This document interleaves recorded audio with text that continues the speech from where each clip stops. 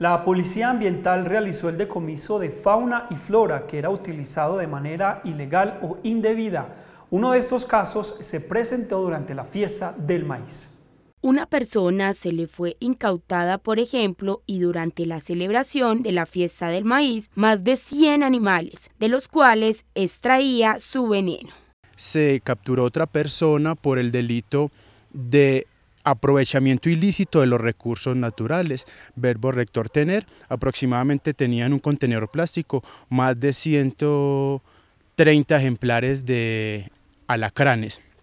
Eh, el delito es muy claro, el que se beneficie o el que tenga la fauna silvestre, pues será dejado a disposición de la autoridad competente, que es Fiscalía, y los alacranes o estos especímenes son dejados a disposición de Cornare.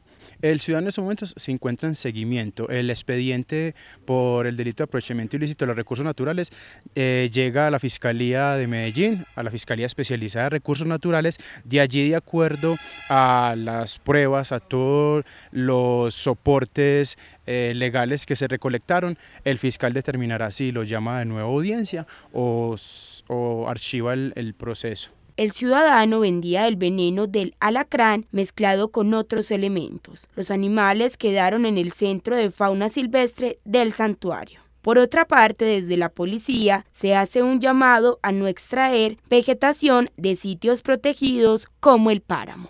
Les recuerdo a la comunidad que la flora silvestre está prohibida tenerla, comercializarla o extraerla de estos ecosistemas o de los bosques.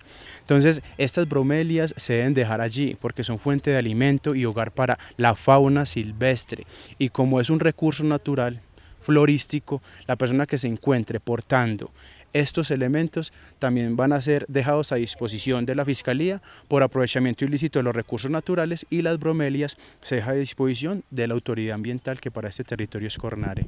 Eh, hay personas que normalmente extraen estos, eh, estas especies florísticas, lo que es el musgo, lo que es el capote, lo que son las orquídeas, lo que es la barba de viejo y las bromelias para comercializarlas en otros municipios. Por último, informó la autoridad policial que se incautaron materiales con los cuales se efectuaba minería ilegal en el municipio.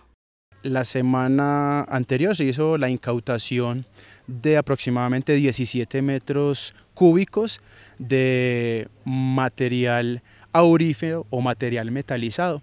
Eh, esto con el fin de llevarlo a una planta de beneficio, hacer el proceso de extracción del oro, cobre y la plata.